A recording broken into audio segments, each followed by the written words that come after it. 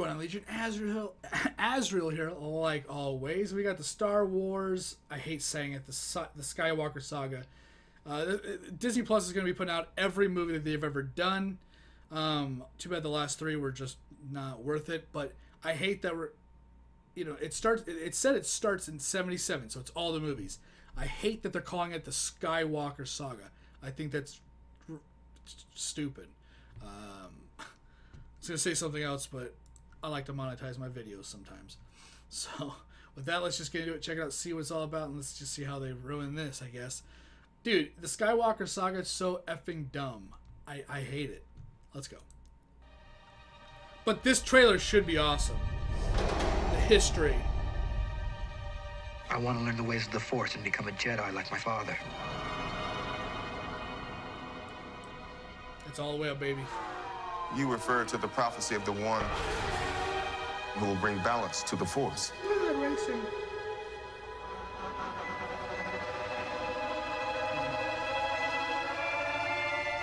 I need someone to show me my place in all this. Rey is the most overrated trash character in The this whole belonging you seek is not behind you. It is ahead.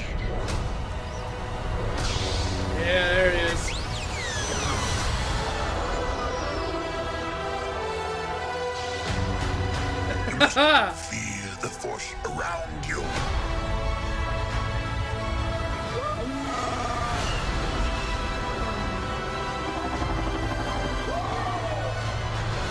Force is strong in my family. My father has it. I have it. You have that power too. The force. A Jedi.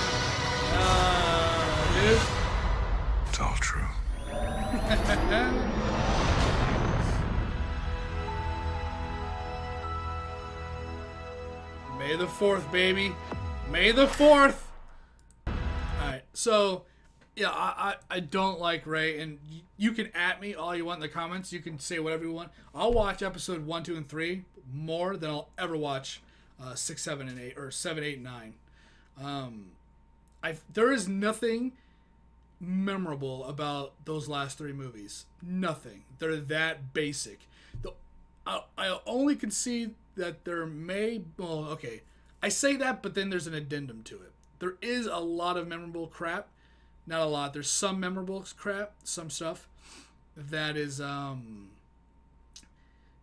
the only memorable things of like awesome notoriety where it makes you feel like, oh my god, Star Wars, yes, is when Han Solo makes his return, right? When you see the Millennium Falcon, that stuff, the stuff from the original, from the from four, five, and six, uh, the '70s episode or movies, not episodes, um, or episodes, I guess. Um, yeah, those are the ones that when you bring back the original cast, the original feels, the awesome stuff that was created by George Lucas, whether that was some of the lore from episode one, two, and three, or just the actors and what those characters have done from four, five, and six, those are the best points. Those are the best things about uh, seven, eight, nine. Everything that was developed for seven, eight, nine as a standalone, uh, as a continuation, is. It, I'm not going to say it's trash, right? It is pointless and worthless to me. You could redo those movies and I'd be happy, right? And maybe when I'm an old man, they'll redo those movies, or maybe they'll redo something. Maybe they'll redo all the movies in animated style with a unique way. Who knows? But um, I mean, hell, even episode one, like I, I know a lot of people give Jar Jar Binks, and when I was when I was young, yeah, I hated that character too. But now that I'm not, you know, fucking 17 or whatever anymore, you, know, eh, Jar Jar Binks, like I don't care. All the people that cry about that character are just whiny cunts, you know, and they're, they're you should just ignore them anyways because it's it's over. It's been fucking 20 years or some shit, right? Not necessarily, you know, yeah, it's it's been a while. It's been a hand, yeah, it's been a long time, people. We can't complain about that character anymore. It's trash. We know it. But like even the pod racing thing, people love that for whatever reason. I was never the biggest fan. Um, but we had Darth Maul and the Darth Maul and and Obi Wan fight is still one of the favorite scenes for a lot of people. So at least Episode One had something for people, uh, whether it was Jar Jar or pod racing or Maul or seeing the Naboo home world, whatever it was. Episode Two didn't really. That was a love story. It, they they definitely tried to expand a lot with the um, the Coruscant kind of traversing, and it was all just kind of whatever.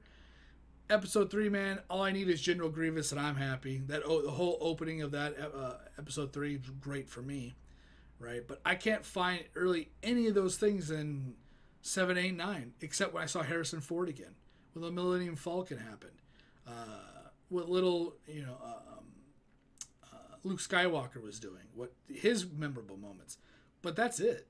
Nothing else. None of that other stuff matters and that is a personal opinion, right? I know there's a lot of people like, oh, I love 7, 8, 9. It was great.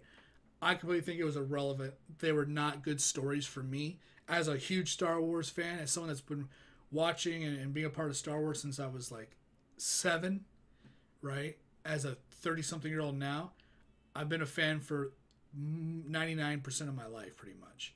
And I was not a big fan of those movies. but uh, seeing these trailers, seeing these things like this, you get the feels. You're like, oh, the incredibleness. You get to see, you know, all that stuff. It is a little bit ruined seeing Rey's stupid face, but uh, sings like a lot of the other stuff and Carrie Fisher and all that. It was you still get the feels for it, and uh, yeah. With that being said, I'm gonna stop shitting on things that I hate the most. Uh, I'm sure there's gonna be some whiny children, neckbeard people out there that are gonna, well, you know, I don't care. Your, your opinions aren't. You're not gonna convince me, and you're not right. You know, your opinion can't be wrong because it's your opinion. If you like those movies, cool. You know, some people hate episode one, two, and three. I understand. I found the things that were awesome, and that's what I gravitate towards. Um, but your opinion is your opinion, right? Like you can like it, you can hate it. You both people are right. Um, but yeah, I'm gonna get out of here. Thanks for watching. Thanks for hanging out. See whatever video I'm doing next. Later, guys.